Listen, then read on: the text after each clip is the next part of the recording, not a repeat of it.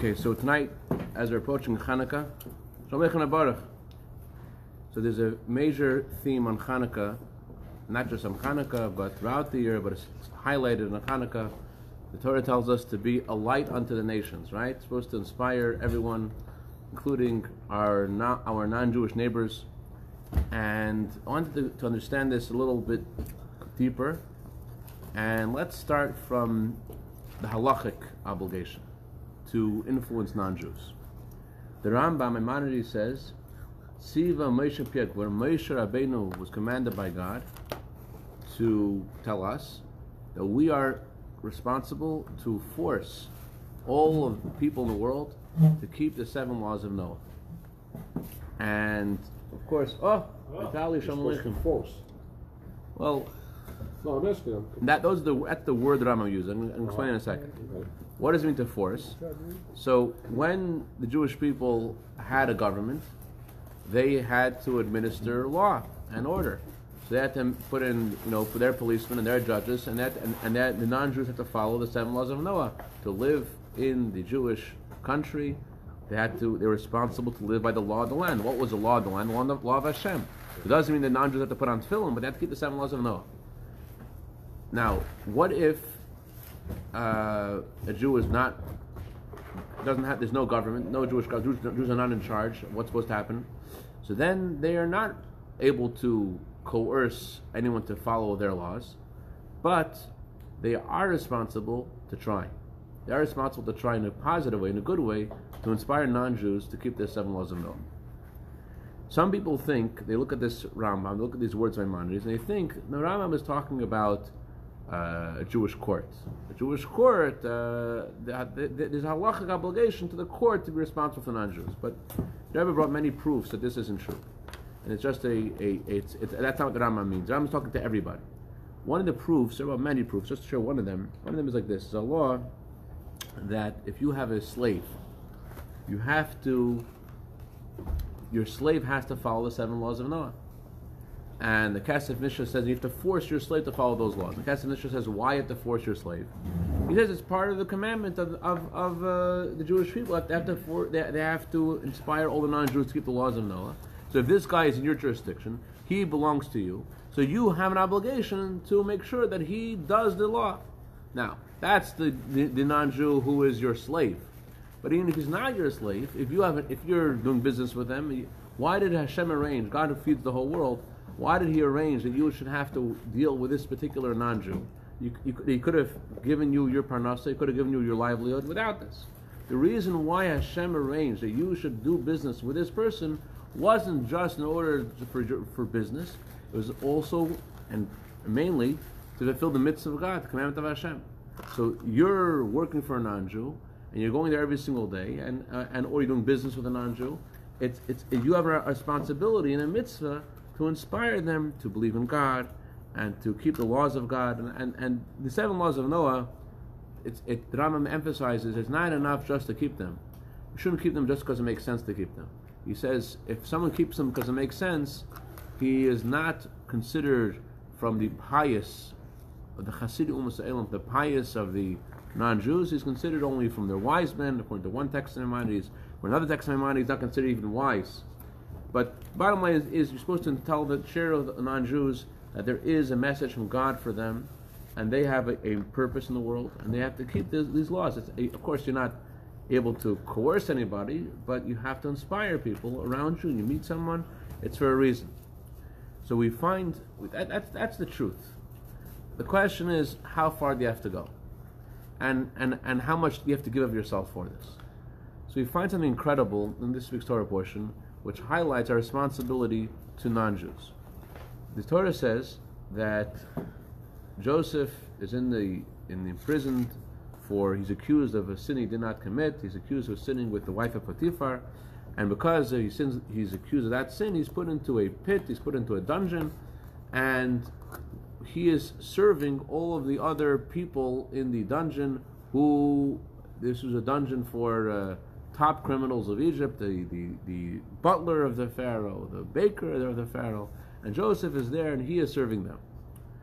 And one day, the Torah says, it's an incredible um, the Torah is, the, Torah has a lot of tec, uh, textual um, speed bumps in the Torah. You see, you see, the Torah adds a word; it's, it's telling you something. You see, there's a word there; it's, it, it, there's a message. So here, the Torah says it's in a, in a way that you know there's something deeper here. One day, Yosef Hatzadik, Joseph sees the butler and the baker, and they are sad. And Joseph says to them four words: Why are your faces down today? Question. Genius. We're on death row. We're in a cell in Egypt. We're not. We're not. You know. Uh, drinking pina coladas on, on the beach. What, what, what, we should be happy? What's going on? What's his question? What's his question? Why? What is what? What, is Yosef even asking them? Number two, if you look at the words, the Torah says. He says he, he the Torah is describing the the butler and the baker, and how they're with Joseph, and they had, they they had this dream, so we know who they are. But right when the Torah goes into the narrative between Joseph and them, the discussion between them, the Torah then says Joseph spoke to the butler and the baker who were with him in the prison of. Uh, the Torah emphasizes they were with him in the prison. Why did Torah emphasize where they were? We know where they were. We know who they were. Why did Torah again emphasize and he spoke to the butler and baker who were with him in the prison of, of the Pharaoh? what's the point of that? So there's some commentaries say the Samson Raphael Hirsch he says an interesting thing is Joseph was different than, than most people. Most people they look at people as like in, in, general terms. This person is a teacher. This person is a is a doctor. This person, but Joseph didn't look like that way. Joseph looked at every person in great detail. He looked at them and he saw their eyes, and he saw their mouth, and he saw their personality, and every nuance Joseph was aware of. Now he's aware of every nuance. Does the same thing. Does the same thing? Watch out. Psychoanalyzing all the time, huh? Well, beautiful way though. so, so Joseph sees in everyone, and I, I was thinking, I, I, went to visit Yitzi Horowitz tonight. Thank Gesund. Rabbi Horowitz is is uh, incredible. How he, he, same thing. He, he, it looks like you know he could barely notice you, barely see you. If you visit him, you, you could see he, take, he takes the whole person in, and he knows exactly what's going on, and, and not just he knows what's going on, he knows very, very deeply. Anyways, so that's who Yosef was. Not only that, Yosef was aware of the circumstance he was in. They were he was in prison, and he was aware also that he's a Jew and he has a destiny, and it could be that his ticket out of the prison is through these people. So Joseph, there is emphasizing he knew not just he spoke to to the other prisoners, he spoke to the butler and he spoke to the baker, and he spoke to them and he understood them and he related to them and he knew that this may be the moment that he needs to be there to hear what's going on because this might be his ticket out. That's how the Samson Raphael Hirsch explains this. But it seems a little bit like self-serving. You know, he's there, right? Like he, he's some kind of like uh, Sherlock Holmes, and he's focusing on them, and he gets every detail. He wants to know where's the where's the clue how he's going to get out of prison. That's that's that doesn't seem that that portrays who Joseph is. It seems like the Joseph is just doing something for something else, and it doesn't seem like who we know Joseph to be, Joseph the righteous, Joseph the tzaddik. The Barbanel says something similar. Barbanel says something a little better, but still not not telling us something that we're proud of. Barbanel said like this: What was Joseph's job? He had to. He was, a servant of the other prisoners, of the, of the royal prisoners. So what did he do? He got them dressed. He made their beds. He fed them. He was a servant to the servants. He was a servant to the prisoners. One day they're sad. So why are they sad today? I'm in charge of taking care of them. And it could be that I didn't make their bed last night the right way. That's why they're sad. And maybe they're going to report me to the uh, to, to, to, to the, my higher up, and I'm going to get in trouble. So Joseph was concerned for himself when he saw them sad. Maybe this has to do with me. Maybe they're upset at me. Okay, but again, it's not doesn't satisfy us. This is Yosef Hatzadik. This is a story in the Torah. What's the message over here? And the truth is, this is such an incredible message that um, mamish, you have to live your whole life with this message. There's a um, there's a teaching Rabbi Yochanan. Rabbi Yochanan says, "Uven shenai mechalav." Uven shenai means it's, it's a bracha, the blessing that that uh, Jacob gave to Judah, that your teeth should uh, be white, whitened with milk. Shalom Rabbi Yochanan interprets this pasuk to mean like this: you have you have two kinds of gifts. You have a gift of milk, and you have a gift of whitening your teeth. What does whitening your teeth mean? Doesn't mean you go to uh, get your teeth whitened. It means that someone talks to you in a way that makes you smile, and you can see their teeth. When someone's happy and they're smiling, you see their teeth. So what's better? Is it better to give someone a cup of milk, or is it better to get someone to give them your, their beautiful smile that you can see their actual teeth?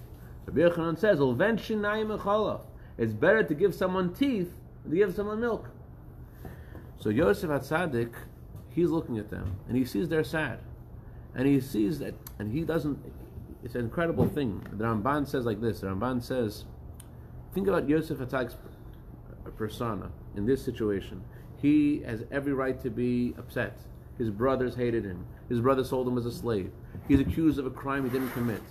So he is the first one who has a right, you would think, to feel like a victim, to be angry at the whole world, be angry at everybody all the time. And instead, what does Yosef Hatzadik think? He sees people which are down, and he's thinking, why could anybody be down? And that, that doesn't fit in his world. He has to, he has to frighten their spirits. He has to, because he feels like he has a reason to be there. He wasn't sold into slavery. He's on a mission there. He has a, God put him there. And every day he's doing his job, he's doing his mission, and he's thinking, why am I here today? What is my job here today? Why are there people in God's world that are, and not just that they, they have food, they have drink, they have everything they need, but he's bothered. Why aren't they happy? Why aren't they smiling? There's two teachings in Pirkei Avos, Ethics of Our Fathers, about smiling to other people. One teaching is, it says, you should greet everybody, Rabbi Shammai says, the saver panim yafis, with a with a smile. The some the Rebbe actually once said that Shammai learned this after his experience with Hillel. Remember that, you know, that story of the convert who came to Hillel and his convert me on foot, and Shammai sent him away, and Hillel Hillel inspired him. You know about that guy. So you don't like my my okay? Thank you, Baruch. So uh, the reason why Shammai taught greet everyone with a smile was because after his experience with the non-Jew, he saw that Hillel's way was right, and every person should greet with a smile. The Talmud says about Rabbi Yochanan Zakkai. Rabbi Yochanan Zakkai was the greatest genius. He knew everything. He knew the entire Torah. He knew the, the, the, the whole spectrum of Torah study, from the laws of Abaye and Rava to Shemir Tekos That's by the way, um, he, he knew the laws of Abaye and Rava. He knew the, the story of God's chariot. He knew the, the language, get this, of the trees. Baruch, you know the language of the trees, right? Yes. You, you, speak to them sometimes too, right? Okay, he did too. Yeah. Uh, Rabbi knew the language of the demons, the Gemara says. He knew so much. The and yeah, the trees. Kalim. The kalim, right? Palm. Trees, right? Right. Yeah, You- you- palm. the- You're saying that not, not the other trees they didn't know, or, or they had different language. Even the palm trees, I know the emphasis is on the palm trees, but that's what the Gemara says. That's right. That, that's the word the Gemara, the color. So, and yet, despite him being such a genius, he never was second in saying hello.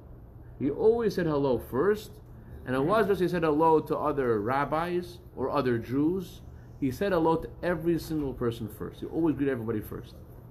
Despite he was so up there intellectually, he never he never was second in greeting anybody. Here is Joseph. Rabbi Yochanan, who was such a genius, he never said hello second. He was always first to, greet someone. Now, the Sefer the office, to greet everyone with a smile, the word of Beishamai, Sever, has the same words as Svara. Svara means idea. Greet everyone with a smile doesn't just mean literally with a smile. It means greet everyone in a way that they'll have a positive idea. So the goal isn't that you should actually be happy and, and, and genuine in your smile. The goal is you, the person who is leaving you, they feel good. So in our world, well, not it's better. It's, Yossi is better than that because in our world it sounds disingenuous. It sounds our world tells us, you know, to, to, what does Shakespeare say? Uh, to be true to thyself, right? To, to be, uh, most of all, be no. Baruch knows of art. No, what does Shakespeare say? Above all, Be true to yourself. no. Shakespeare said it different. Above all, something like that. Be true to yourself, and that's what the, uh, you, you you see all these Facebook posts and all these people posting about be live your dreams, be genuine, be real. The Torah doesn't really subscribe to that philosophy. The Torah says that superficiality is underrated. There's an advantage of being positive to another person, even when you feel lousy. The person walking away from you should just feel good. Even though you don't feel good, they should feel good. That's what the Medrash Shmuel explains this. They say upon the office, they should come away with a positive idea. Your face portrays to them something positive. Yeah. Above all, to thine own self be true, and it must follow as the night the day.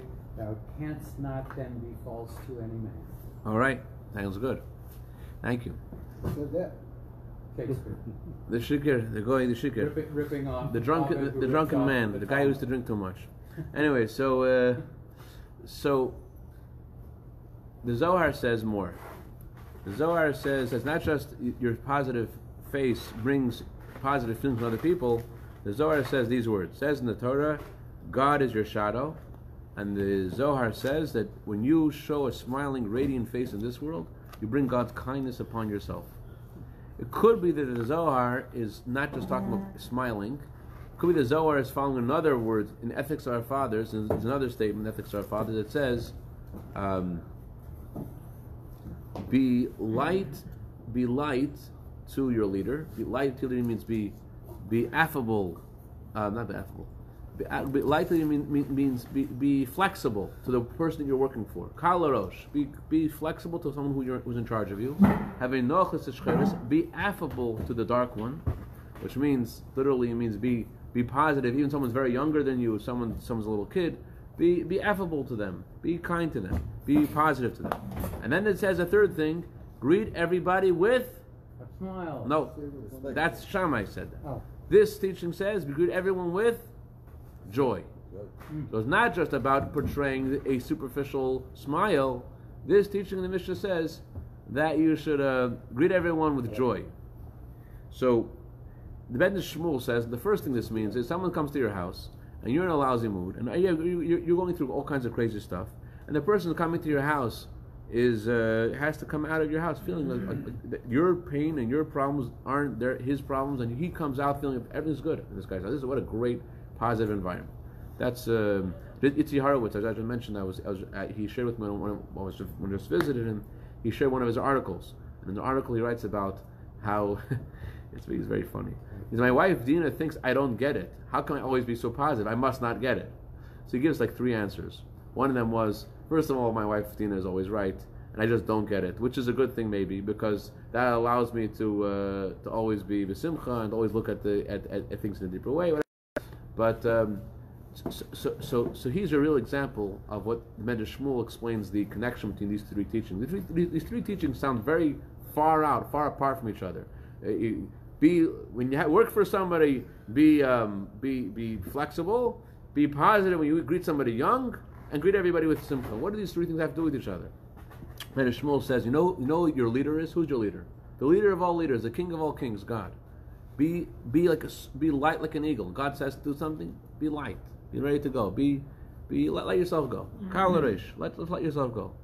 That's that's the first teaching. The second teaching is be affable to the dark one. Literally doesn't say to the young people, it says dark one. Young people don't have any gray hair. So this nechus means be kind, be affable to the dark one. That's a literal translation. But the Medrash Shmuel says, you know what the dark one is? The dark times. The things that are going on in your life that you don't understand why they're ha- why those things are happening.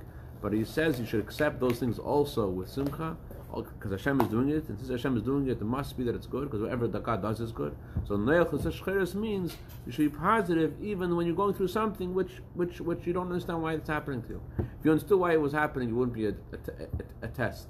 It's only a test when you don't know why it's happening. It's not like the emergency broadcast system.